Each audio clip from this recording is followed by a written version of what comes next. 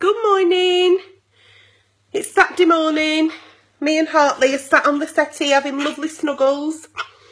Hartley Blue is five. He's a Bichon Frise. He's hypoallergenic, so he doesn't molt, and he's really good for people who have allergies. Aren't you, Hartley? There he is. One thing about Hartley is, in between his um, grooms, say hello, Hartley. Good boy. Sat with Mr. Fox. He loves Mr. Fox. Mr. Fox is his best friend.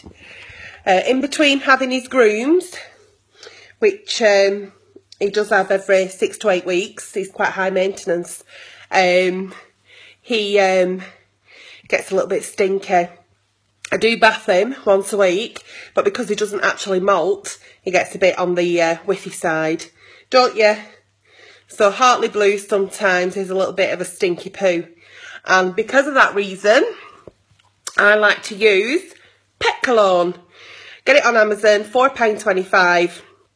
It's called Baby Fresh, the one I used.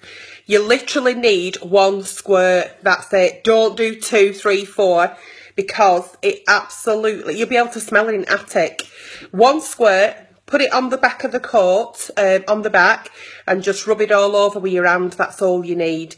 And they smell absolutely fucking divine. It smells like Johnson's baby powder.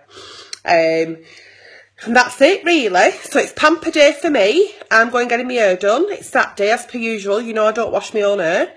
And um, Hartley's had his pamper, he's had his bath, he's had his dry, and he's got his pet cologne on. He smells absolutely beautiful. Say hello. Say good morning. Say good morning. Do you smell beautiful? Say good morning, everybody.